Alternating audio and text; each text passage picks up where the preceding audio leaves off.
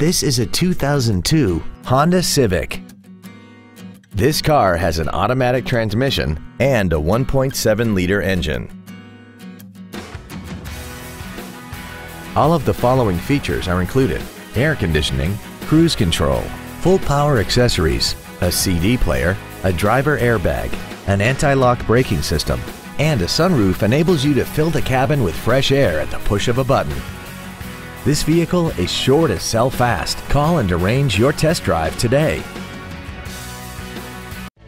Thank you for considering Yonkers Honda for your next vehicle purchase. If you have any questions, please visit our website, give us a call, or stop by our dealership, conveniently located at 1980 Central Park Avenue in Yonkers.